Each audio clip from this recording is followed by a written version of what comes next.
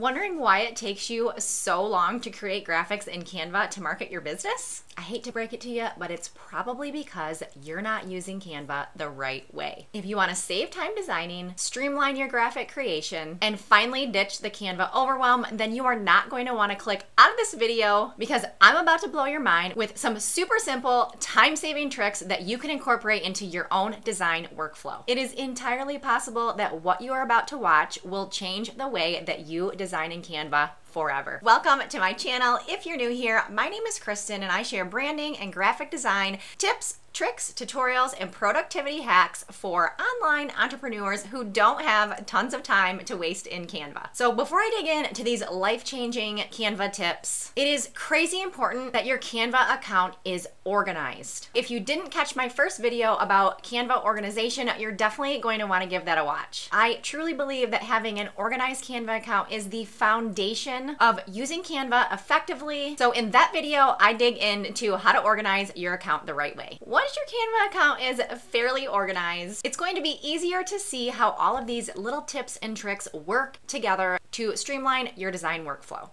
Come along, let's pop into my Canva account so I can show you how it's done.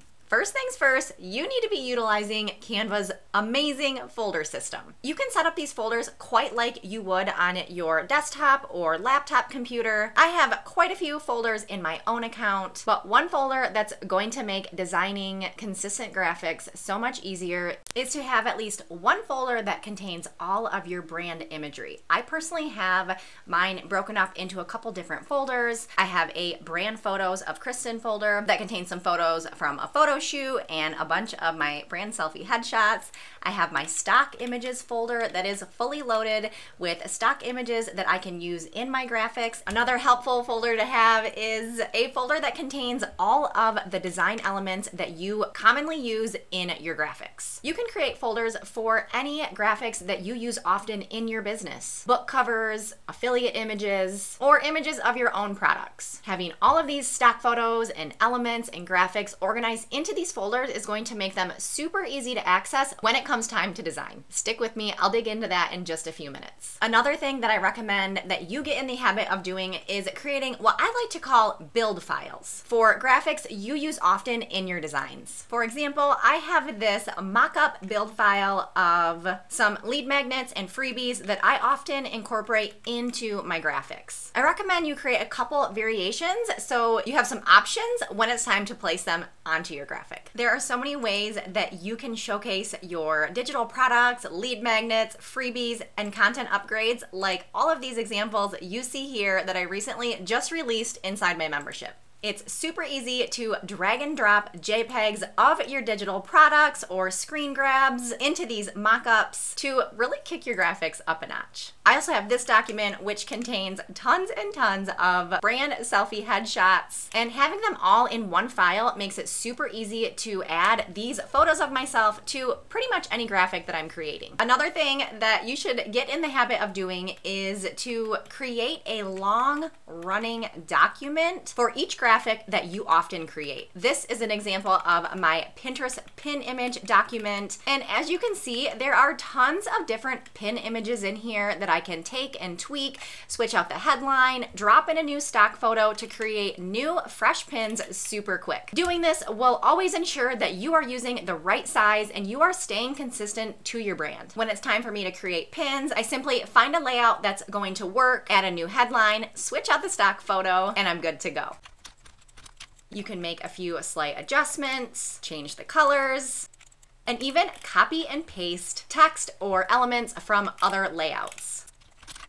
Hold up, before I go any further, if you're liking these tips so far, be sure to subscribe to my channel so you can continue learning how to design amazing graphics alongside me. Another way that you can save tons of time creating graphics in Canva is to repurpose and reuse graphics that you have already created. This is my running document of YouTube thumbnails, and when it's time to create a blog post, I can select everything on the page, copy it, and paste it into my blog post design document. You're probably going to need to resize things just a bit and switch out the headline if necessary, but this is a trick that's going to save you so much time. From here, you can quickly drop these elements into a Pinterest pin, an Instagram post or carousel, and batch create all of your graphics. Earlier in this video, I mentioned my love for Canva folders and how they are absolutely crucial for using Canva the right way. So now I'm going to take this a step further and show you exactly why. I don't know about you, but pretty much every single graphic that I create in Canva to market my business involves the use of on-brand stock photography. I'm not a professional photographer, so I rely on done-for-you images that convey the vibe and tone of my brand. Here is my stock photo folder with all of my stock photos uploaded into it. To upload your own stock photos, just click this little plus sign up here and upload. Pull the photos from your desktop or wherever you have them stored and add them to this folder. Now, let me introduce you to the magic of this left panel over here. This panel is accessible when you are in any design, and if you're not using it, I'll bet that you're wasting tons of time. Right now, my left-hand panel is pretty empty. Your panel probably looks a little bit different than this. Let's say I wanna create a new YouTube thumbnail from scratch, and I wanna start with a photo background. Simply click folders over here in the left-hand panel,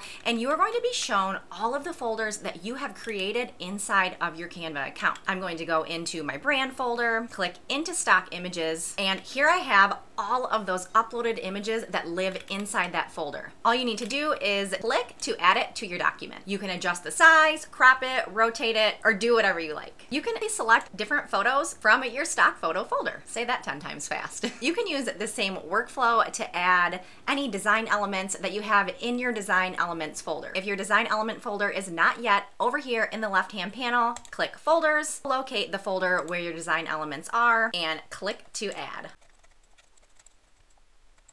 to easily add mockups of your lead magnets or digital products, go into your folders and locate that build file. Not only can you add images that you've uploaded to this folder, but you can also add pages from a design. Just go in to the design file and you're going to see all of the pages that you've already created. I usually add a new page and then click on any of the images to add that mockup to your document adjust to fit, edit if needed, and quickly create graphics to market your digital products or lead magnets. It's a good practice to have your stock images, design elements, and any other commonly used graphics, mockups, or product images easily accessible in this left panel. You can continue adding folder shortcuts into this panel, but if you find too many, just hover over it and click the little X. I'm a huge fan of repurposing different text and elements from graphics, but I also love a good template. And I'm gonna show you some tricks that you can use to style your templates really quickly to match your brand. Let's say you wanna create a lead magnet starting with this template. Templates are pretty generic. They're not going to look anything like your own brand image, but Canva makes it super easy to make them totally unique to your business. Let me show you how. Over here in the left-hand panel, you're going to see this styles icon. And if you have your brand kit set up in Canva, you should see your fonts and your color palettes accessible right here in the panel. Click your fonts, then you can customize the colors. If you click your color palette over here, it's going to shuffle through some different options and you can just select the one you like. When you're changing the fonts and the colors, be sure to click this purple button down here so it applies to all of the pages in your design. You're probably going to have to go in and make some edits like changing the fonts, stylizing the text, and adjusting sizes. But the Canva styles option will get you headed in the right direction for quickly customizing all of those templates that you're purchasing. You can also stylize blocks of text or other design elements really quickly with this paint roller tool right up here in the right hand corner. All you need to do is select the element, style it however you like, click the roller, and paste the style onto other elements. Doing this is going to help you stay consistent and save you tons of time. Designing in Canva doesn't have to be a total time suck, overwhelming, or even frustrating. I know that if you put these simple design workflow hacks to use, you'll feel like a Canva pro in no time. And before you go, if you're ready to better manage the design side of your business, then be sure to catch my free design training from chaos to Canva Pro. I'll link it in the video description. Give it a watch and prepare to take control of your brand, your graphics, and your Canva account. I can't wait to see what you create. Bye!